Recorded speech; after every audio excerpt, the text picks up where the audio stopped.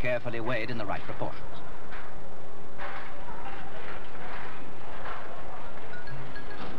Now mix it and mill it until you have a paper-thin sheet of finely textured, finely blended cheese. Add a knob of butter for flavor and make, quite simply, a Welsh rarebit.